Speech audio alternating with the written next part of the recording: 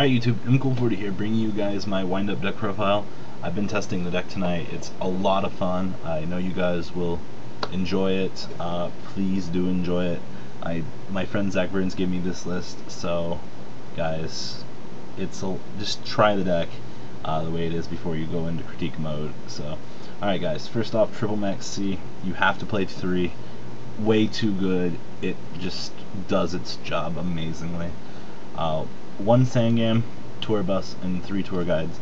It's your engine for the tour guide engine. So you have to play it. Tour bus just does wonderful things, especially with this card. So uh, Wind Up Hunter, one of in this deck.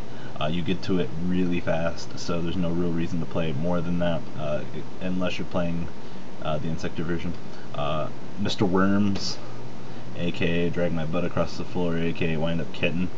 Uh, this card gives me worms just looking about it. Look at it, drag, drag, drag. Anyway, this card is pretty much mandatory as well. It gets any exceed problems or synchro problems out of your way. Just puts them back in the extra deck. Pretty much very useful for any situation you might have. Uh, one wind up magician. Uh, this card, this card is pretty interesting. Not gonna lie. Uh, it serves its purpose. Uh, special summon uh, whatever you need to do for your XYZ plays. Wind up rabbit. gotta move faster than my rabbit. Um, I don't know. I'm still testing it. I, I have to say though, it's giving me interesting results. Uh, triple rat, pretty much mandatory staple, especially for going into Zen, the Zen guys. Uh, wind up shark. This card is ridiculous. I don't know what Konami was thinking. Uh, you special summon guy. You special summon him. You special summon another shark. Like there's just so many loops you can do with it, and it's ridiculous because it opens up so many plays to your XYZs. Uh, three wind up soldier. This is just one of those cards that gets places. It, it's a one card answer to Thunder King. Uh, Book of Moon, Dark Hole, Heavy Storm. Pretty sure you guys can kind of figure out why those are there.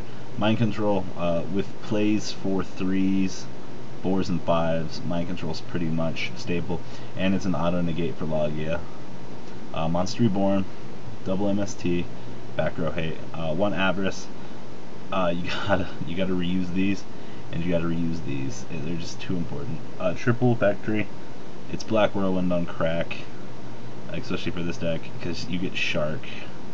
Uh, double Fiendish Chain. Uh, it serves a better purpose than Veiler, even though Veiler is a hand trap. But um, Fiendish Chain draws all the MSTs and it lures them away from or it lures you in when they don't have back row because like they MST you and you're like oh the threat's gone. Uh, triple solemn torrential dust shoot. Dust shoot's too good this format especially with all of the stupidness that can happen. And then one XYZ reborn. I actually am really surprised by how good this card is. Uh, you bring back your Zenmaity and you just detach and search. It's it's free plus so. Alright extra deck. One Adreus. One Tiras and one Zen Mario. Um, basically, these three cards are going to be the key for your level 5s. Uh, each one of them serves a different purpose, and they basically cover the ground that you need to cover. Uh, for rank 4s, Utopia and Chaos number 39. Uh, I'm playing Chaos number 39. Uh, actually won me one or two games. It, it's very nice, and your extra deck's a little bit more open. Yeah, you can play Synchros for that good old Monster Reborn, but, you know, I I, feel that Chaos number 39 is too important because it's just a looming threat that just appears out of nowhere.